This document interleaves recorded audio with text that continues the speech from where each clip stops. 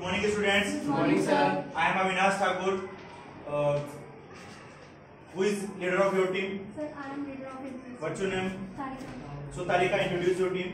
Sir, he is Ritik. Okay. She is Anjali. Okay. He is Gaurav. So, what we do today?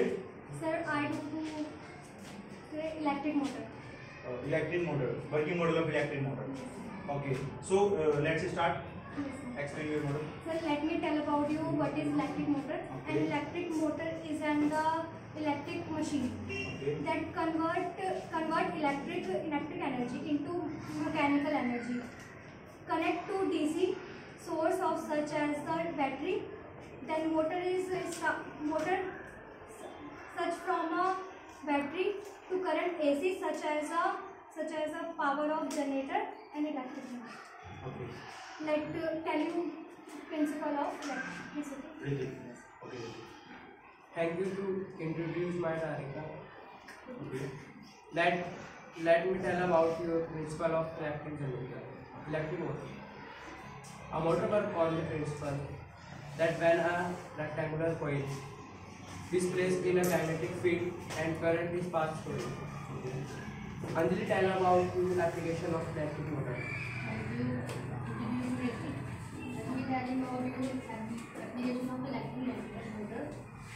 The application of lighting motor mainly included row of fan, machine, tools, pumps. Yes. The dynamic power of tools and convoluted rolling mills and shift and moving and paper mills. Lighting carrying of construction of a lighting motor. Okay.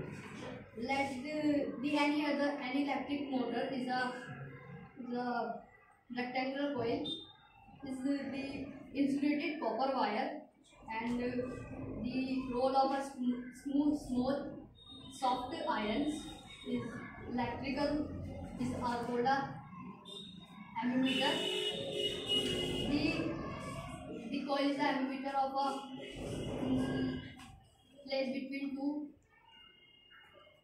two poles of a strong metal it It's connected to cross of carbon branch of applied to current in ammeter core. Okay. Okay, so uh, let's see how is it how is it done.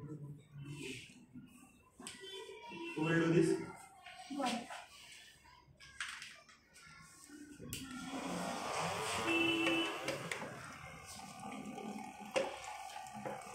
From here we are providing electricity. Yes, sir. Yes, sir.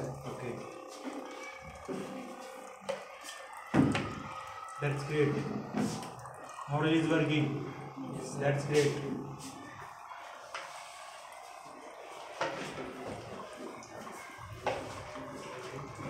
Good.